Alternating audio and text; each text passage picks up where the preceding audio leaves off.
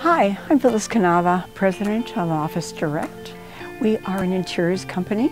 We furnish commercial buildings and we're celebrating our 30th year this, this June, so very excited about that. The first thing that I did when I went into business was I joined the Providence Chamber.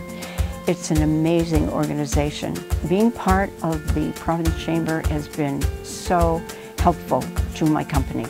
Uh, from meeting people that are moving and renovating to moving forward and doing uh, great, great, exciting things. All I can tell you is join the Chamber. It's an incredible experience.